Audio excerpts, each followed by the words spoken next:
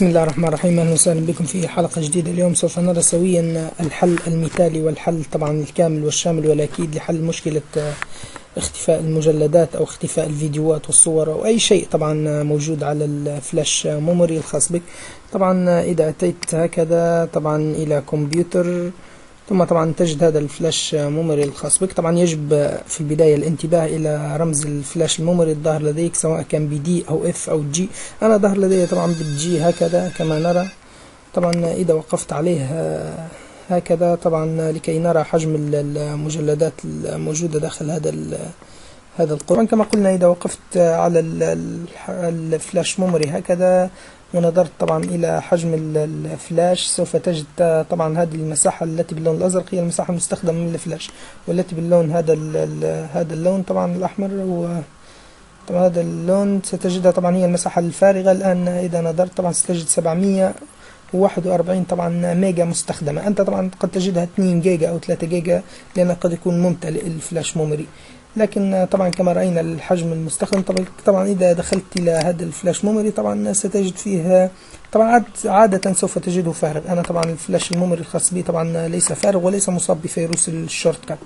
أنت طبعا سوف تجده فارغ وستجد فيه طبعا مجلدين باللون الأصفر طبعا عليهم هنا علامة زرقاء صغيرة مثل السهم الصغير. طبعا يكون حجمهم واحد كيلو بايت واحد كيلو بايت طبعا لا تقوم بالنقر عليها لأنها تكون طبعا هذا هو حجم البرامج وطبعا المجلدات دائما لحجمها واحد كيلو بايت واحد كيلو بايت تكون عبارة عن فيروسات وهي طبعا المسببة للمشكلة.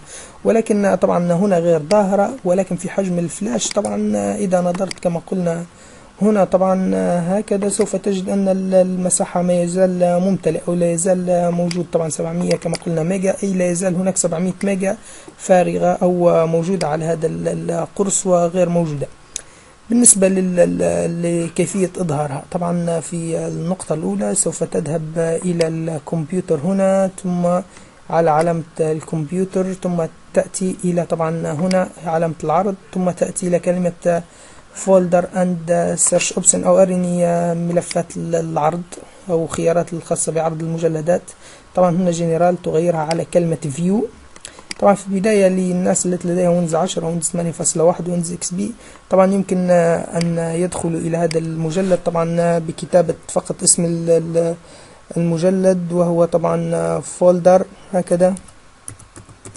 folder option هكذا طبعا كتابة هذه الكلمة أيضا سأضعها طبعا أسفل في ال description سأضعها أسفل في ال description يدخل على الخيار الذي في الأعلى. هذا هو folder option طبعا سيظهر له نفس هذا نفس هذا المجلد. عموما نفس الخطوات. يأتي إلى كلمة view ثم طبعا ستجدها على don't show hidden أو طبعا لا ترني الملفات المخفية. أنت ستضعها هنا على ال show وتتأكد أيضا أرجو من الإخوة طبعا أرجو منهم طبعا أن ينزعوا هذا الخيار. طبعا قد يظهر الثالث أو الرابع هذا الذي أمامه كلمة recommended هذا الذي بين قوسين تنزع علامة علامة الصح لأن الفيروس يقوم بإخفاء المجلدات على أنها مجلدات في نظام الويندوز أي لا ترى.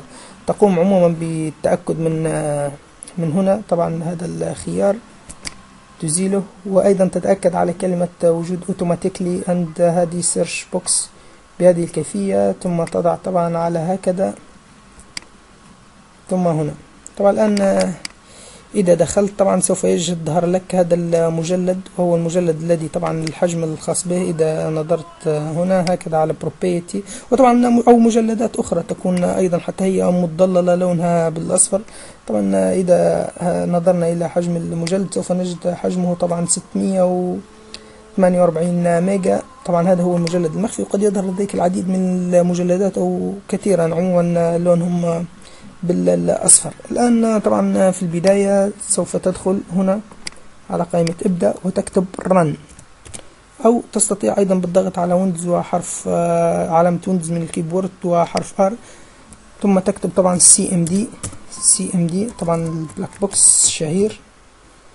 Cmd هكذا. الآن طبعا أرجو الانتباه لهذا الكود وسوف أضعه أسفل في ال description ولكن مع مراعاة طبعا تغيير حرف الخاص بالقرص أو يجب حتى كتابته كتابة لأنه لا ينفع طبعا ال copy وال paste قد تخطئ فيها عموما. الآن طبعا كما قلت لكم في البداية يجب الانتباه إلى رمز الفلاش. أنا الآن ظهر لدي بحرف ال G أنت إذا كان ظهر بحرف آخر طبعا ستكتبه. أنا سأكتب له طبعا ال G هكذا حددت الفلاش ال G ثم ضغطت enter. يقول لي هنا ماذا أو عذرا يجب كتابته أيضا بال capital. هكذا G الآن يقول لي ماذا تريد؟ طبعا عمله في في القرص جي هذا.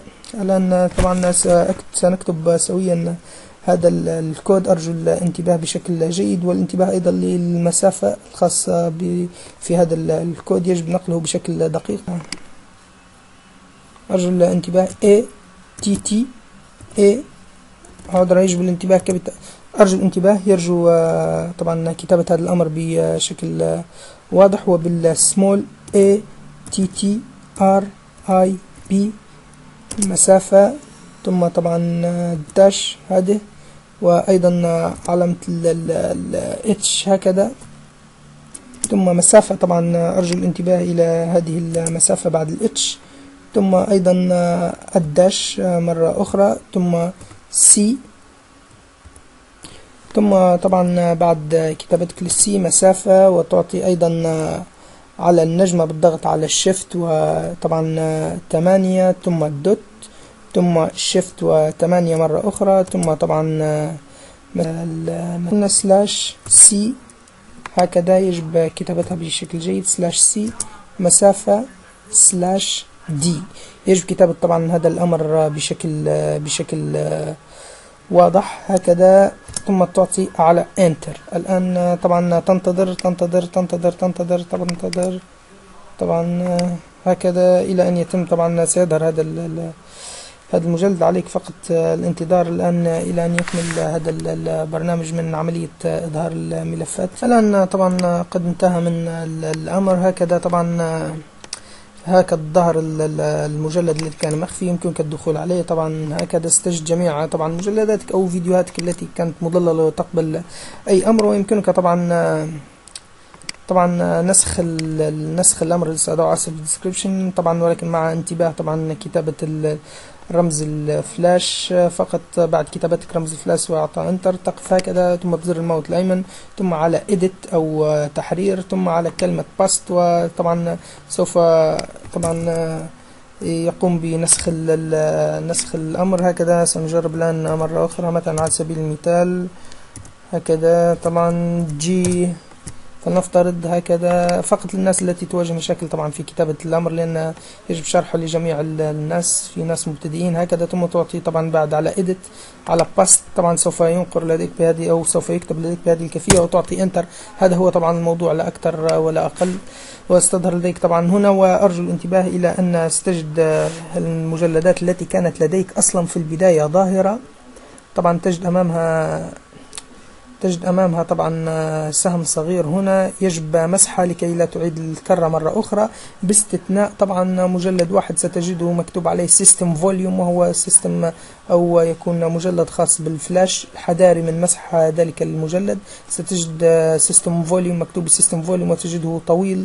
طبعا ليس طبعا ذلك ليس فيروس إنما هو مجلد خاص بال flash memory طبعا لا تنسى الاشتراك في القناة ليصلك كل جديد وحصري. والسلام عليكم ورحمة الله وبركاته. سأضع الأمر كما قلت أسفل في ال description وخلاص.